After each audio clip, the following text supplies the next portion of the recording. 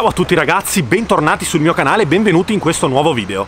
Oggi è finalmente arrivato il momento in cui vi rivelerò questo mezzo misterioso che ho rivelato eh, qualche giorno fa, tipo un paio di giorni fa. Chi mi segue su Instagram ha cercato in tutti i modi di indovinarlo, ma non ci è riuscito. Le auto più gettonate sono state Supra, RX-7, NSX, Suzuki Cappuccino, mi avete sparato tanti di quei modelli che tra l'altro eh, c'erano anche modelli aspirati o ad esempio modelli tipo Super RX7 che non sono auto per niente rare perché è facilissimo reperirle ormai un po' ovunque.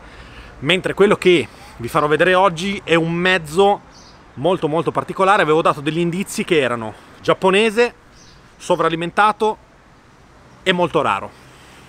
Molto raro cosa vuol dire? che sicuramente un mezzo a tiratura limitata o difficile da reperire questo mezzo in particolare è un mezzo che è stato eliminato dalle vendite già qualche anno fa, eh, è recente in realtà perché l'anno di questo mezzo è 2015, è stato poi tolto dal mercato almeno europeo proprio per il discorso che eh, non passava le norme anti-inquinamento e tutte queste cazzate che abbiamo qui da noi. È un mezzo che ci ho messo veramente veramente tanti anni per riuscire a trovarlo perché eh, è difficilissimo da reperire dato che le vendite all'inizio sono state pochissime per uh, vari e ovvi motivi. Direi che è arrivato il momento di dare bando alle chiacchiere e alle stronzate e farvi vedere sto cazzo di mezzo.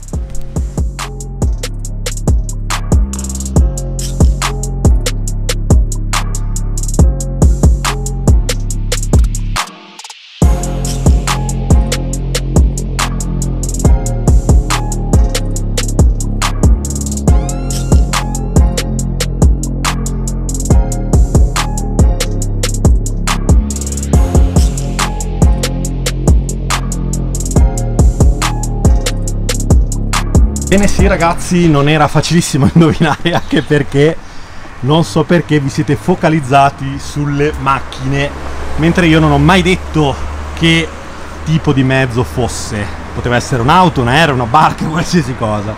E invece era una moto. Questa qui è una Kawasaki H2 Ninja, quindi una Ninja H2. La cilindrata di questa moto è 1000, ok? Monta un 4 cilindri in linea, ma la cosa particolarissima di questa moto è proprio che è sovralimentata monta un compressore centrifugo gigantesco ok? Volgarmente potremmo anche chiamarlo turbo. La differenza tra un compressore centrifugo e una normalissima turbina è che il compressore centrifugo ha la stessa forma del turbo ma non ha la parte calda quella dei collettori di scarico ok? La moto è pazzesca, non ho ancora avuto modo di provarla bene perché è una moto praticamente da collezione, quindi il proprietario che ce l'aveva prima la usava veramente veramente di rado. Infatti abbiamo ancora gomme dell'epoca praticamente quadrate e quindi la moto è abbastanza complicata da usare con questo tipo di, di gomme. Faremo se voi volete dei contenuti come motovlog o comunque la prova di questa moto ufficiale da mettere sul canale. Per il momento mi limito a mostrarvi la moto. Vi faccio sentire un piccolo sound check se volete e dopodiché vi faccio vedere eh, il packaging con cui veniva consegnata la moto all'epoca che è proprio una cosa meravigliosa e dimostra che questa era una moto da collezione ok? Come accessorio attualmente monta già il portatarga classico con le frecce questo scarico della SC Project meraviglioso guardate che collettori quello è un fucking catalizzatore ok? Non vedo l'ora di mettere il gatto dietro ovvero il catback il colore della moto è cromato. Questa è una specialissima vernice Kawasaki tipo super moderna che ripara i graffi da sola è una vernice che autorigenerante. Adesso non sto a spiegarvi. Questo particolare è meraviglioso poi ve lo spiegherò in un altro video. Adesso facciamo un piccolo sound check e dopo vi faccio vedere praticamente quella cosa che vi dicevo prima che è un, praticamente un cofanetto che viene dato con la moto e vi farà godere un sacco. Pronti per il sound check? La moto ovviamente ha pochissimi chilometri, guardate che strumentazione, è una moto che eh, monta una strumentazione molto semplice, seppur già qualche anno fa eh, esistevano già schermi LCD su questi modelli eccetera eccetera, ma loro hanno voluto renderla proprio nuda, nuda e cruda. Ha sistema launch control, sistema mm, ABS, sistema per, per fare le partenze lanciatissime, ha il sistema per eh, il controllo di trazione, ha un sacco un sacco di cose, il cambio elettronico, eccetera eccetera eccetera. Scusate sono un po' impacciato ma non sono un grande esperto di recensioni di moto, comunque è arrivato il momento di fare il sound check.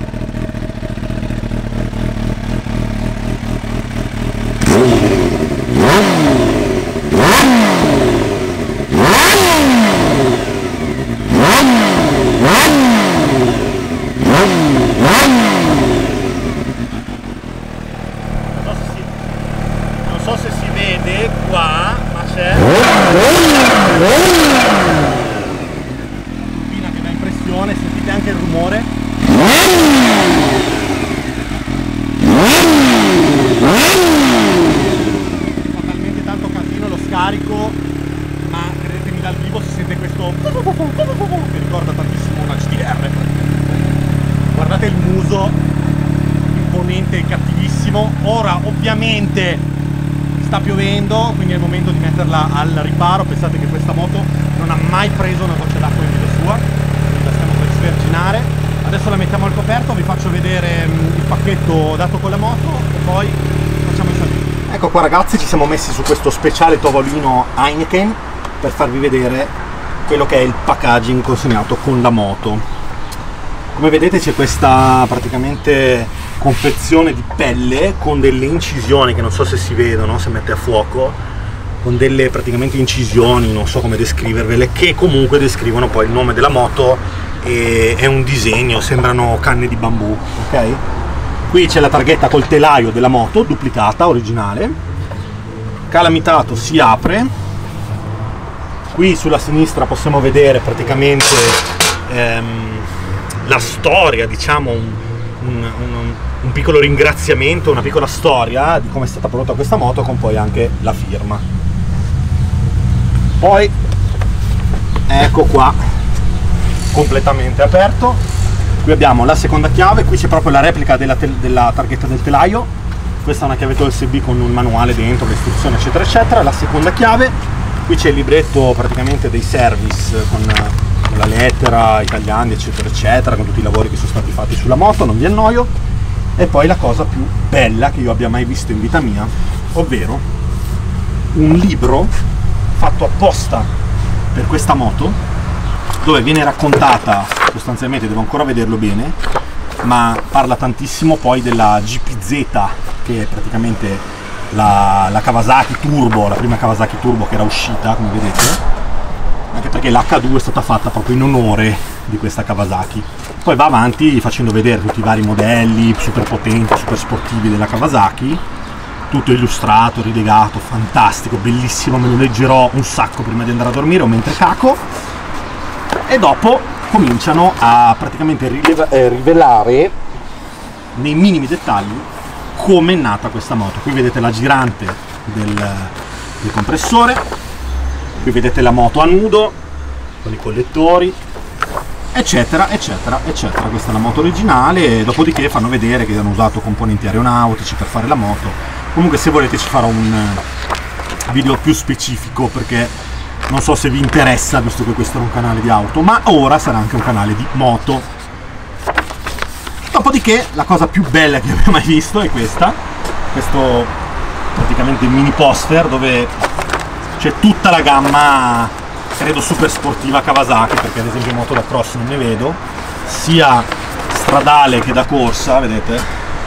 Sembrano quei poster con le donne nude che c'erano una volta dentro dentro i giornali non so se avete presente solo che questi sono meglio delle donne nude.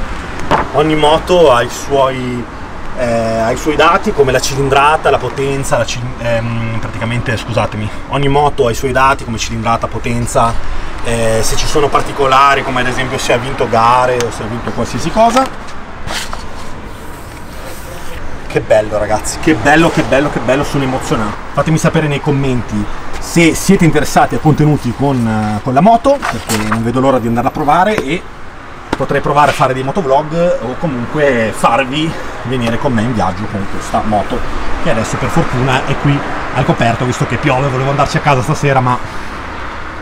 Molto bene ragazzi. E anche per oggi guardate sul, sullo sfondo una bombola di NOS e delle pinze gigantesche eh? for Air 33 Project. Mi raccomando perché noi vogliamo frenare un palazzo, non vogliamo frenare una macchina questa è la bombola di protossido che andrà sulla 33 quindi piccolo spoiler e grazie per aver seguito questo video spero che vi sia piaciuto spero che anche voi siate appassionati come me di moto vi invito a lasciare like, commentare, commentate ragazzi, per me è importantissimo che voi commentiate con scritto bello il video, fa schifo, così vi posso bannare. Mettete like, scrivetemi cosa volete, cosa volete vedere, per favore commentate sotto i video perché mi piace tantissimo leggere i commenti. Condividetelo sui social, non so se si usa più, venite a seguirmi su Instagram e su Twitch perché non ho abbandonato Twitch, semplicemente ho poco tempo e ho un progetto molto interessante per Twitch, per cui non perdetevelo. Mettetemi segui anche su TikTok, il nome è sempre Angelo Nero, su, su Instagram, su TikTok, su, su YouTube, su qualsiasi social, persino su Clubhouse che non so se esiste ancora. Grazie per essere stati qui con me e ci vediamo alla prossima